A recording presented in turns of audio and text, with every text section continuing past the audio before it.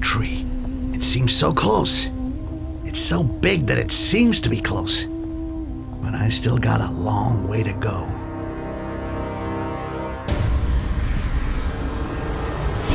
C'est un univers euh, mature, euh, héroïque fantasy et assez dark. On a euh, tous les ingrédients en fait d'un jeu d'infiltration. On peut tuer, cacher les cadavres, on peut utiliser son environnement pour tendre des pièges, on peut se rendre invisible, on peut euh, se déplacer de cover à cover. On a un personnage qui est, vraiment original, on n'a pas l'habitude de jouer ce genre de personnage et ça implique aussi des modifications en gameplay, c'est-à-dire qu'on est petit, on ne va pas se confronter à des gros gardes en armure, il va falloir euh, ruser, trouver d'autres solutions.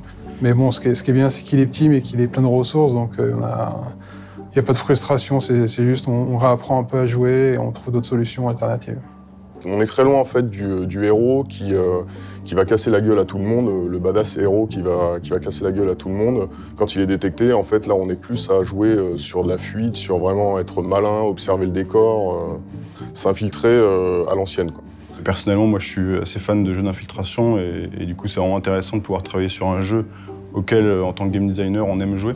On a voulu revenir en fait à l'essence des jeux d'infiltration qui étaient euh, beaucoup plus punitif en fait quand on a été détecté. Donc là, on a, quand même des chances de fuir et euh, on, a, on a les outils en fait pour le faire. Par rapport aux mécaniques d'infiltration, on a essayé de penser les mécaniques par rapport au fait qu'on jouait un gobelin et pas euh, un personnage équipé de FAMAS ou de, grenades.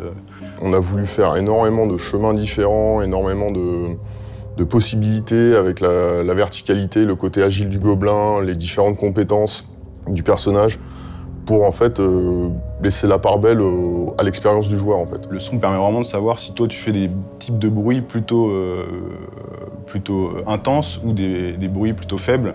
Tu peux marcher sur des tapis par exemple, le bruit est beaucoup plus, beaucoup plus fin.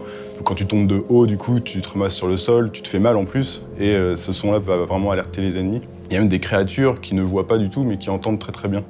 Et du coup, il y a plusieurs vitesses de déplacement, et qui te permet vraiment d'être très très silencieux et d'avancer très, très doucement.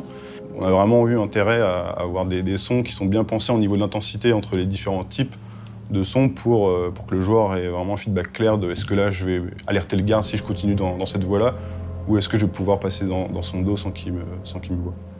Il aura quelques mécaniques un peu, plus, euh, un peu moins furtives comme euh, il pourra assassiner les gardes, il pourra devenir invisible. Il y aura pas mal de choses qui vont permettre au joueur de pouvoir s'infiltrer sans se faire repérer.